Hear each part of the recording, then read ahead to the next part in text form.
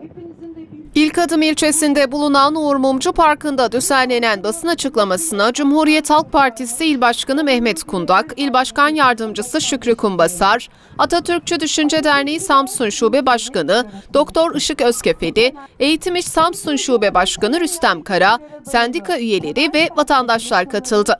3 Mart 1924'te kabul edilen devrim yasaları tarihinden bahseden Atatürkçü Düşünce Derneği Samsun Şube Başkanı Doktor Işık Özkefeli, Cumhuriyetimizin şeyhler, dervişler, müritler, mensuplar memleketi olmasına izin vermeyecek en hakiki, gerçek olan çağdaşlaşma ve aydınlanma yolunda mücadelemiz yorulmaksızın sürecektir dedi.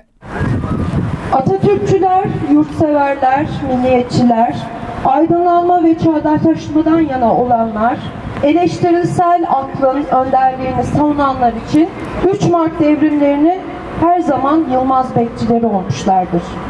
3 Mart devrimleri olarak adlandırılan kanunlarla Türk halkı kula kul olmaktan kurtulmuş, onurlu bireyler, eşit yurttaşlar olmak yolunda eşsiz bir kazanım sağlamış, dinimiz siyaset vasıtası olmaktan uzaklaştırılarak hak ettiği yüceliğe yani asli özeline, özelliğine yeniden kavuşturulmuştur. Türk devrimi ya da Atatürk devrimi yok edilmek, sürülmek, esir yapılmak istenen milletimizin destansı direnişine dayandığı temeldir. Eğitim İş Samsun Şube Başkanı Rüstem Karada, Cumhuriyet'in temelini oluşturan 3 devrim yasasının 95. yılını kutladıklarını söyledi. Yasasının 95. yılını kutlamamızın bir anlamı vardır. Biz bugün Türkiye'de bu yasalarla birlikte elde ettiğimiz bütün haklarımızın her gün bir bir elimizden alındığını ve yasaların işlevsiz hale getirildiğini görüyoruz.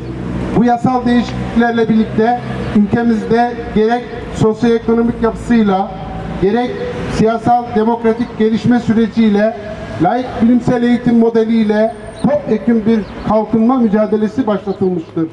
Dünyanın